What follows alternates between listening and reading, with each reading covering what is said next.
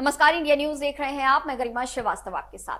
अमृतपाल फरार है। लेकिन भगौड़े खालिस्तान समर्थक अमृतपाल सिंह के करीबी पप्पलप्रीत सिंह को मंगलवार, यानी कि आज तड़के अमृतसर एयरपोर्ट लाया गया।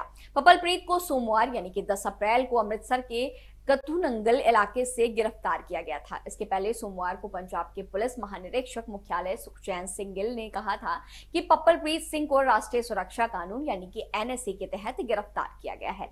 अमृतपाल सिंह के मुख्य सहयोगी पप्पलप्रीत सिंह को अमृतसर ग्रामीण पुलिस ने कथुनंगल इलाके से गिरफ़्तार किया था। गिरफ्तारी राष्ट्रीय सुरक्षा कानून के तहत की गई है। इसके बारे में सारी जानकारी दी गई। इसके अलावा वो छह मामलों में भी फरार है। पपलप्रीत को कई तस्वीरों में अमृतपाल सिंह के साथ देखा गया था।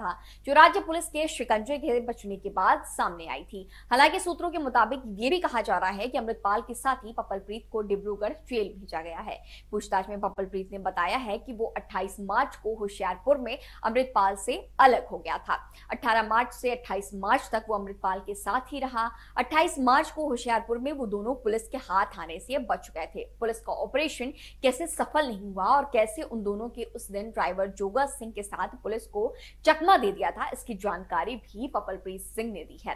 अमृतसर एयरपोर्ट पर भारी पुलिस बल के साथ पपलप्रीत को सुबह लाया गया।